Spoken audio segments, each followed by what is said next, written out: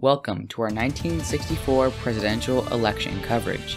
Tonight we have incumbent President John F. Kennedy running for re election against Barry Goldwater, the senator from Arizona. Barry Goldwater is very conservative, especially for the national mainstream, but his message has really gained a lot of support, especially in the Midwest and Deep South. Meanwhile, Kennedy remains popular and definitely looking to win re election by a sizable margin and to take down conservatism once and for all. And here is currently the national polling average. John F. Kennedy holds a 12.6% lead over Barry Goldwater.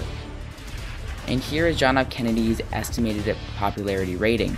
Currently, it is a net plus 27%. He has 94% approval rating out of Democrats, 45 from both independents and Republicans, showing that he has a decent amount of crossover support. Meanwhile, Barry Goldwater is a mere plus 12 net percent uh, net approval rating. From Democrats, he only has a 35% approval rating, though he has a 90% from Republicans and a 40% from Independents. And here is the electoral map. All the states colored in gray are considered swing states. As you can see, Barry Goldwater is doing very well in the deep south and in the Midwest.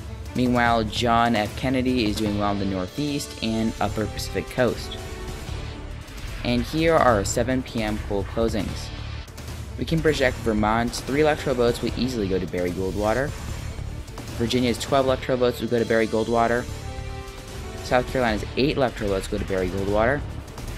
And Georgia is too close to call. Barry Goldwater has a very large lead early on. And in Indiana, it is too close to call. Kennedy has a lead here. And in Kentucky, another lead for Kennedy. And here is the current electoral map. Barry Goldwater has 23 electoral votes and Kennedy has 0. And here are our poll closings out of Ohio, West Virginia, and North Carolina. Out of West Virginia, we can project its 7 electoral votes will easily go to John F. Kennedy. And in North Carolina is too close to call, 6% for Kennedy. And in Ohio, another too close to call, about the same margin for Kennedy here. And here is a current electoral map. John F. Kennedy has now gained electoral votes. He's currently at 7. And here are 8 p.m. poll closings. We can project Alabama's 10 electoral votes towards Barry Goldwater, and Mississippi's 7 electoral votes towards Goldwater. Same thing with Oklahoma's 8 electoral votes, they will go red. And Massachusetts, this is John F. Kennedy's home state, 14 electoral votes will easily go to the Democrat. And Rhode Island will easily go blue. And Connecticut, 8 electoral votes will go into the to Kennedy's column once again. And New Jersey's 17 electoral votes go to Kennedy, and Delaware, three electoral votes would go to Kennedy. In Maryland, another northeastern state, that will go blue. And Washington, D.C., three electoral votes will easily fall into President Kennedy's column. And in Florida, it is too close to call. Goldwater has an early lead. And Illinois, another too close to call. Kennedy has a lead here. And in Missouri, it is nearly an exact tie. Kennedy had by less than half a point. And in Maine, another too close to call state. New Hampshire, too close to call yet again. And Tennessee, it is an exact tie here. And in Pennsylvania, Goldwater has an early lead. And here is the electoral map. It is 48 for Goldwater and 66 for Kennedy. Here are 8.30 p.m. poll closings out of state of Arkansas. A flip from 1960, Barry Goldwater will carry the state of Arkansas. His message rang true for many of the voters here. And in Georgia, we can project this state, another flip for Goldwater. Its 12 electoral votes will go to the Republican column, another flip uh, for Goldwater from 1960. And here are 9 p.m. poll closings out of a large batch of states. Arizona, this is Barry Goldwater's home state. He will definitely win this with ease. And out of Kansas, 7 electoral votes for Goldwater, another Midwestern state for him. And Louisiana, 10 electoral votes for Goldwater. In Nebraska, 5 electoral votes for Goldwater. And North Dakota, 4 electoral votes for Goldwater. Same thing with South Dakota. This state will go red. In Wyoming, 3 electoral votes will fall into the Republican column. In Michigan, 21 electoral votes will go blue. And in Minnesota, 10 electoral votes for the president. And in New York, 43 electoral votes. And actually, we can project that Robert Kennedy, John F. Kennedy's brother, has actually won re election to the U.S. Senate after resigning as Attorney General. In New Hampshire, the state will actually flip to the Democrats for the first time in a while. The state was once a solid red state, and will now go blue after Goldwater's conservatism alienated many of the more moderate suburban voters. And in Maine, we can project this state's four electoral votes for John F. Kennedy, and out of Wisconsin, we can project its 12 electoral votes for John F. Kennedy. And in Colorado, it is too close to call a 6% lead for Goldwater. And in New Mexico, too close to call a much narrower margin than Colorado, but Kennedy has the lead. And in Texas, Kennedy has another early lead. This is the home of the Vice President, Lyndon Johnson. And here is the current electoral map. John F. Kennedy still holds the lead 160 for Kennedy to 104 for Goldwater. And here are 9 p.m. poll closings out of Iowa, Montana, Nevada, and Utah. Montana will easily give its electoral votes to Goldwater. Same thing with Utah and with Tennessee, which we can now project for Goldwater. This was a swing state. And Iowa, we can project its 9 electoral votes for Kennedy. And we can also project Colorado 6 electoral votes for the incumbent president. And Illinois' 26 electoral votes for the incumbent president. This state was a lot closer in 1960, but Kennedy has definitely gained popularity here, and many of the voters did not like Goldwater at all. And Kentucky, 9 electoral votes for John Kennedy. This is definitely a must win state for Kennedy. Definitely um, considered upper south and possibly even in the Rust Belt, and there are a lot of voters that really could have gone for Goldwater, but Kennedy will take the state nonetheless. And Nevada, three electoral votes, a narrow win for Kennedy. And in New Mexico, four electoral votes will go to the incoming president, another in a string of wins for him. And here is the current electoral vote map. John F. Kennedy holds a very large lead over Goldwater, 217 to 123. And here are 11 p.m. poll closings out of California, Washington, Oregon, Hawaii, and Idaho. Hawaii will easily give its electoral votes to Kennedy, 4 electoral votes to the incumbent president. Same thing out of Oregon, but it's 6 electoral votes, and Washington's 9 electoral votes will go blue yet again.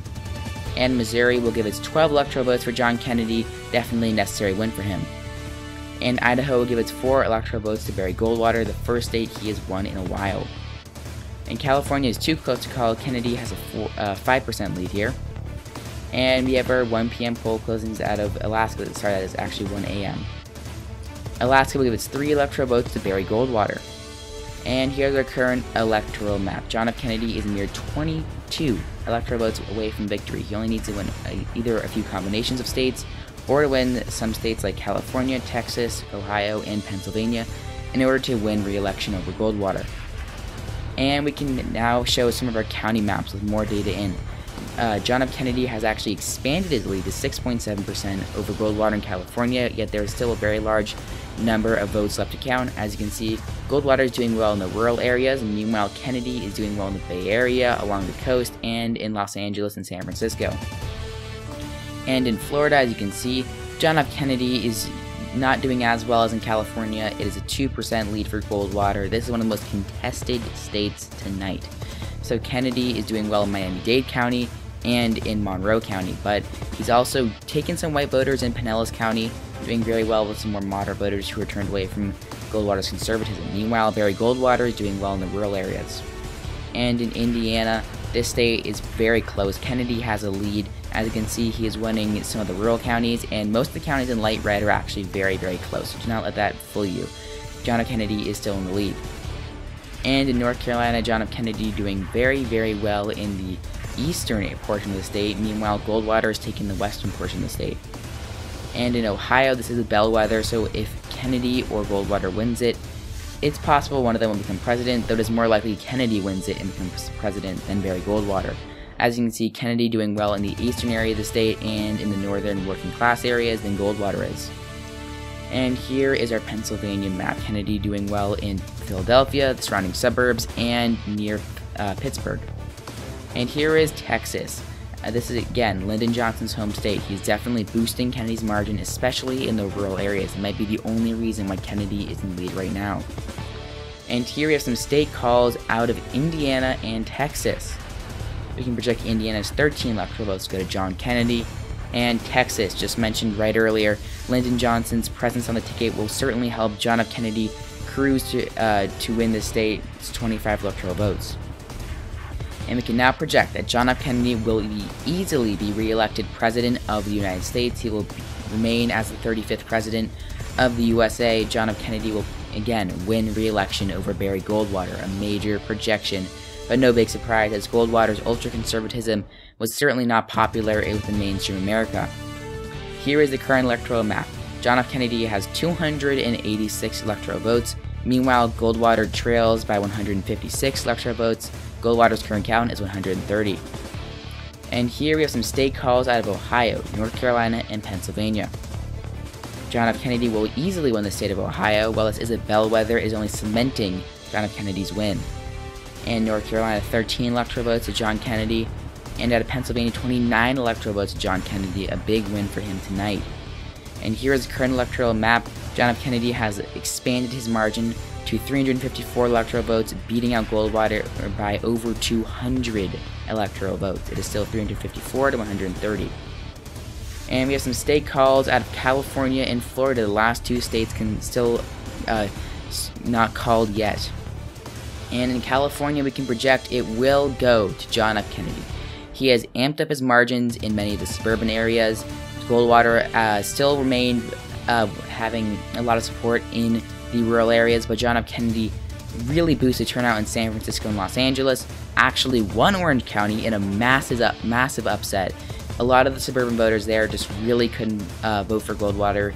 Many of them held their nose and did it, but a good amount actually voted for Kennedy, and that has contributed to his win, especially with uh, his victories in counties along the Pacific coast.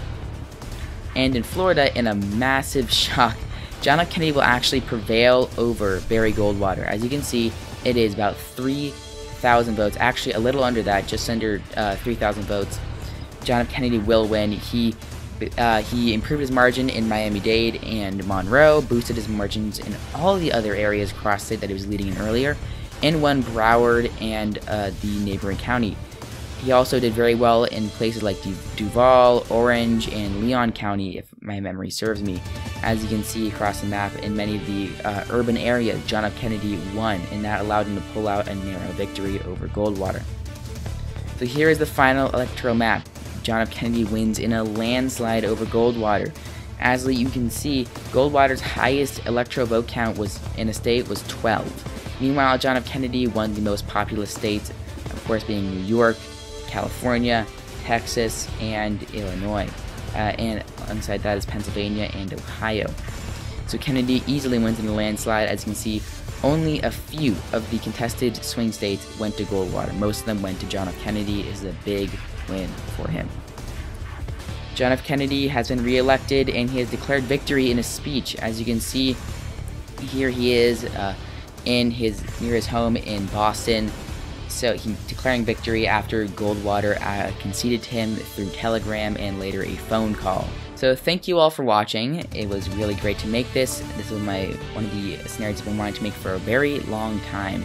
It's definitely super interesting. Just to clarify the scenario was if Kennedy was never assassinated, the attempt never happened in the first place. If it did and he survived, he definitely would have won by a, possibly a large margin comparable to Ronald Reagan or Richard Nixon. But anyway, thank you all for watching. If you enjoyed this video, leave a like, and you can subscribe for more content such as this.